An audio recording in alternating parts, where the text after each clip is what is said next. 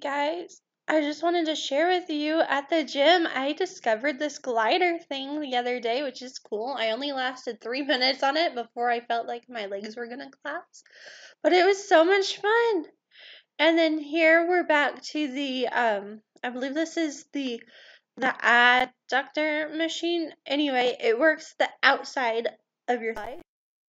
And I am doing 50 pounds I believe, and two sets of 10 on this one. I'm looking to probably increase next time. What happened was I lost all my data from before, um, so I don't know where I was at because I had it on my phone and then I got a new phone and things went crazy.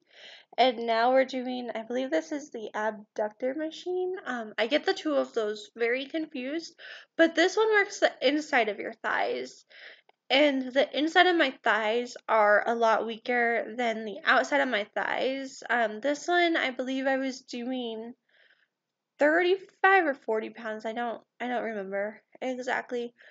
But anyway, um, I was also doing two sets of 10, and again, I'm looking to, um, to increase that hopefully soon. And I just wanted to share with you a little bit. And here's me doing the leg press. This is really hard this time, I think, because I was mostly working my legs.